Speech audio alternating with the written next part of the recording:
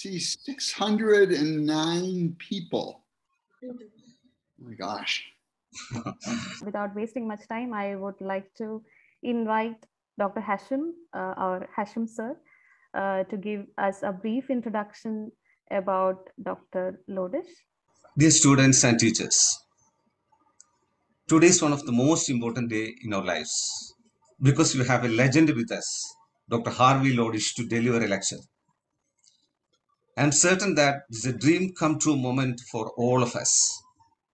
We have been studying different aspects of cell and molecular biology over the years, and now we have the author of the book with us. I'm extremely happy that I could organize this event today with the ensured participation of my students since the year 2001. Even though every one of you is well aware about Professor Lodish, before moving on to the talk, I would like to give a brief introduction about him.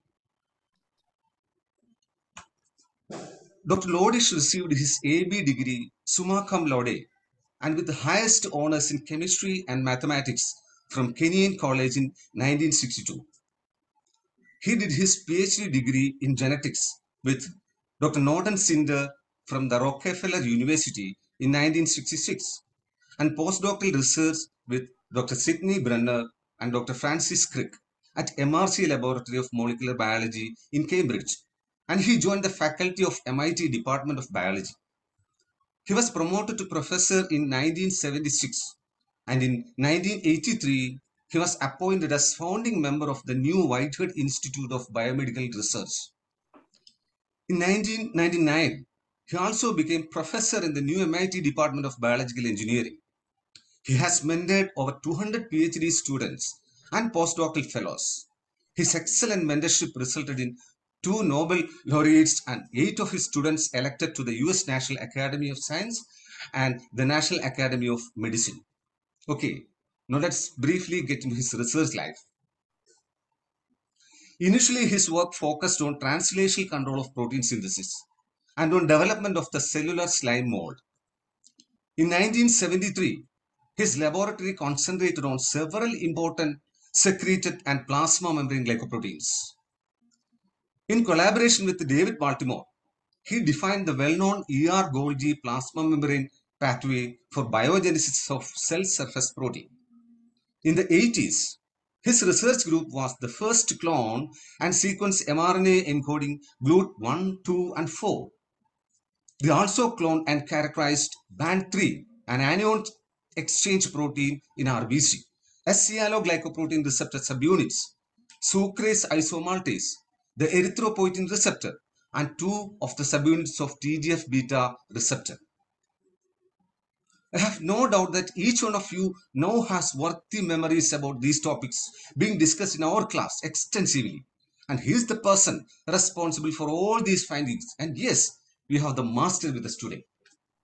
He has received several prestigious awards, including the Metcalf Lifetime Achievement Award from the International Society for Experimental Hematology in 2020 and the Wallace H. Coulter Award for Lifetime Achievement in Hematology from the American Society of Hematology in 2021.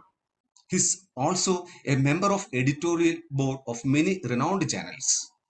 So now, with immense pleasure and honor, I'd like to invite Professor Lodish to enlighten us with his talk. Thank you. So, what I'm going to talk about today is another aspect of my scientific endeavors, which is starting and building companies to treat unmet medical needs. I have been in the biotech industry as a founder of many companies for over 40 years.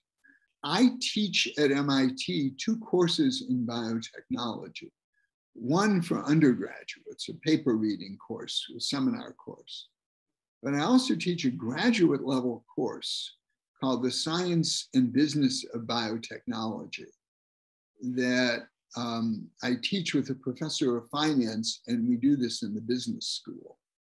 That course is now an online edX course and has enrolled, actually, that number is out of date. We've enrolled 24,000 students from all over the world. Thank you so much, Dr. Harvey. It was really an inspiring talk. Ask me whatever you like. You're a good audience. A rare disease is a rare disease. So when you talk about the business so you may not get uh, a good ma- market value when you when you when you are uh, finding a drug and you are uh, you are getting into the market. So then the because it's a rare disease uh, you may not expect that much profit. These drugs are coming uh, uh, going through a clinical trial and, and all. So it is very too much cost what is your thought like how do you balance the business and that humanity It's not just developing countries. In the European Union, the health systems are regulated by the government. It's a complicated problem that also involves government health policy. And it involves politics and everything else. Be prepared to lobby. I'm not joking. Be prepared because we do this all the time.